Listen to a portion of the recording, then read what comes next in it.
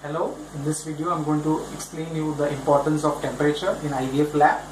Uh, as you know, we grow the embryos at body temperature which is 37 degrees Celsius. So even the slightest of uh, variation in temperature can affect the embryo drastically.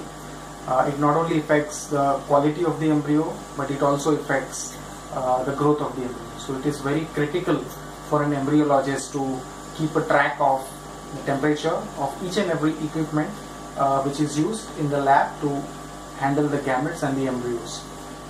Now these equipments include a CO2 incubator.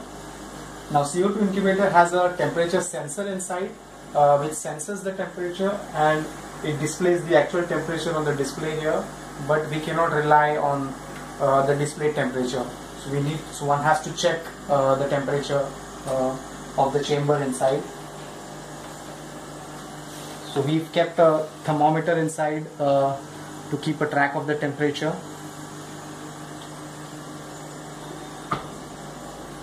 And we uh, regularly check the temperature uh, with our digital thermometer, which is here.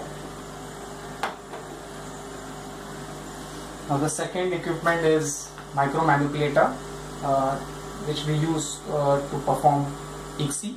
Now micro manipulator has a stage warmer here. Uh, so we need to check the temperature of this stage warmer with the help of again uh, digital thermometer.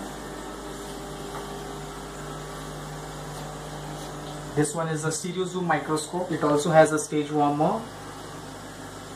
So now we are checking the temperature of the stage warmer with this digital thermometer. I have connected a probe to the stage here which is displaying the temperature as you can see it is pretty much under control. This is again uh, a warm petri dish is warm. This is a test tube warmer. As you can see we put a thermometer inside a tube.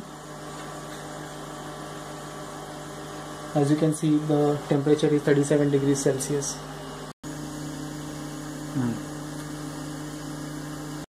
Thank you for watching. Hope you like this video.